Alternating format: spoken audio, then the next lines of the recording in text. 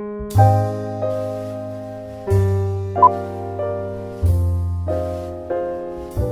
บสวัสดีครับพี่น้องชาวไทยและที่รักทุกท่านวันนี้เราได้มา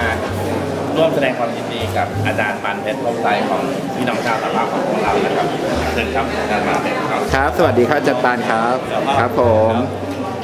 ก็วันนี้ก็ถือได้ว่า เป็นเกียรติอย่างสูงนะฮะที่ได้มาร่วมงานวันนลิตนะครับรู้สึกว่าดีใจแล้วก็เป็นเกียรติอย่างยิ่งนะฮะเพราะว่ารายการนี้ค่อนข้างที่จะศักดิ์สิทธิ์แล้วก็มีประวัติความเป็นมาที่ค่อนข้างที่จะยาวนานพอสมควรแล้วก็ได้รับเอ่อความเชื่อถือในวงการไทยไทยบ้างส่งส่งเป็นครั้งแรกก็ได้รางวัลเลยก็รู้สึกปลื้มเหมือนกันอ่าภาพนี้สื่อความหมายของอาจารย์ปานเป็นลักษณะแบบอันนี้เป็นก้าวย่างครับเรียกว่าเป็นเป็นก้าวย่างของบัณฑิตนะครับที่ เขากำลังยืนอยู่บนสแตนที่ได้รับเอ่อถ่ายภาพหมู่จะรับสัญญา ซึ่งตอนแรกผมก็เล็งว่าเฮ้ยนี่มันสวยดีนะ ผมไปยืนอยู่หลังแตนนะครับ คือตรงเนี้ยจะนิ่งมาก แล้วตรงนี้ก็เวลาพิมพ์ถึงได้ฟังนี่ก็คือกำลังลงกำลังลงครับนี่ถ่ายที่มอของเวลาผมผมไปถ่ายที่มอสยามอ๋อมอสยามคนี่รับนะมอสยามเสร็จแล้วช็อตที่รู้สึกผมจะกดไปประมาณ4ช็อตครับผมก็ภาพนี้ก็เป็นเป็นภาพที่ดีที่สุดอ่าอันนี้เป็นรางวัล เป็นรางวัลของของสมทบของเอฟสันปีที่แล้วก็เอกรินครับของเราใช่ไหมของชาวชาวภาพของเราก็ได้รางวัลนี้เหมือนกันนั่นเนี่หนีไม่พ้นนะครับกับชาวสหภาพของพวกเรานะครับความอาจารย์คือตั้งใจทำขาวด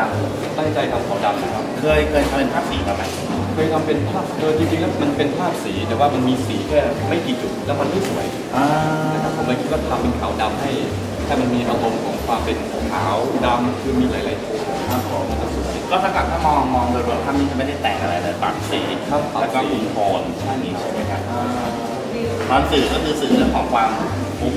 แล้วปีปีนี้อาจารย์ส่งไปกี่รูปปีนี้ผมส่งมาสามสามรูปโอ้ถือว่าทรงน้อยนะครับปกติจะต้องเต็มพิกัดประมาณเขาให้เท่าไหร่ห้ารูปสี่เขาให้สี่รูปนะครับก็ถือว่า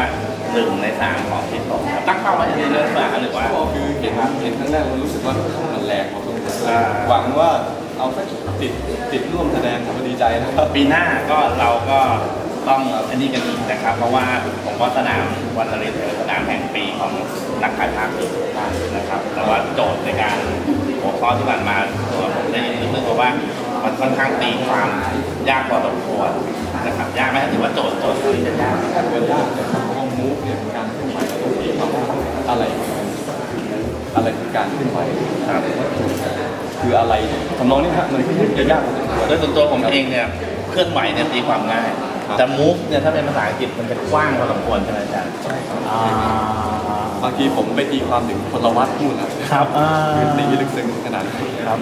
ฝากฝากอาจารย์บอกเพื่อนๆพวกเราทุกคนของสนามแห่งนี้ด้วยนะครับ ครับก็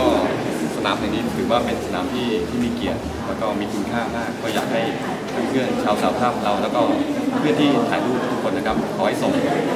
มาประกวดรายการนี้นะครับ ถ้าได้เข้าร่วมแสดงก็เป็นเกียรติคือได้ผ่านตากรรมการเนี่ยรู้สึกว่าเป็นเกียรติมากแล้วคิดว่าในการส่งประกวดกับภาพถ่ายของรายการเนี้เราต้องเราต้องคิดลึกซึ้งมากต้องมองหลาย ๆ ชั้นบางทีภาพที่เราถ่ายมาแค่มิติเดียวเนี่ยว่ามันไม่เพียงพอครับต้องต้องมองให้ลึกมากกว่านี้ ต้องใส่เรื่องราวต้องใส่อะไรที่ มัน extra ordinary มันพิเศษขึ้นไปอีกก็เหมือนกับตีโจทย์ให้ให้ให้ครอบคลุมของการอ่าแนวคิดทางความถ่ายภาพด้วยถูกไหมครับครับสวัสดีครับพี่น้องชาวสาภาพทุกท่านนะครับเอิญว่ายังมีอีกหนึ่งคนนะครับที่เป็นสมาชิกชาวสาภาพที่ได้รับรางวัลด้วยนะครับ ซึ่งอาจจะเป็นหน้าใหม่นะครับ ชื่อว่าพี่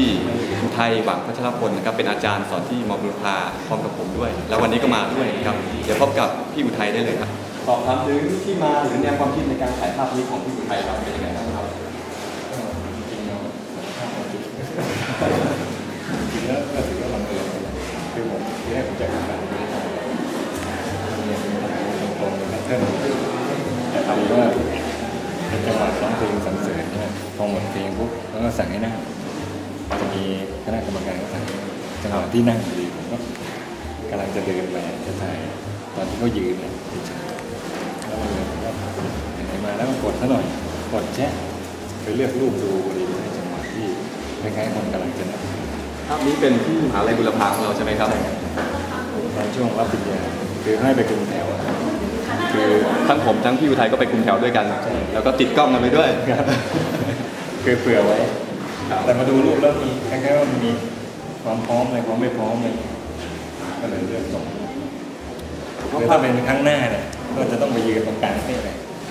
แล้วแบบให้องค์ประกอบมันได้แล้วค่อยรอจังหวะถ้าเป็นประสบการณ์ไม่ดีภาพนี้ตั้งใจทำเป็นขาวดใช่ครับมันเดินทางที่สี่คือความพยายามอยู่ที่ไหนอยู่ที่เด็กความพยายามอยู่ที่เดิมคือทำภาพไม่ค่อยเก่งแต่ว่าก็พยายามทำให้มันมีสามน้ำหนักนะคืออาจจะได้อาจจะได้เป็นความแปลกจังหวะที่คนก็ไม่ค่อยถ่าย ไม่ว่ากำลังคนกำลังจะทำอะไรทุกอย่างกำลังจะยืนกำลังจะนั่งกำลังจะลุกอะไรคนหลังจะลองถ่ายแบบนั้นอยู่เรื่อยๆหรือว่ารถกำลังจะบินอะไรเงี้ยก็ถ่ายผมว่าเอาไปใช้กันก็ดูความมันเลยปีหน้าก็ต้องส่งเป็นภาพยังไงแต่นี่โซโครสมากเลยนะครับ ปีหน้าขยับไปอีกนิดเดียวนี่ครับวันที่หนึ่งอยู่ตรงนู้นใช่ไหมครับขอบคุณมากครับ ยินดีด้วยกับรางวัลนะครับ ขอบคุณครับสวัสดีครับ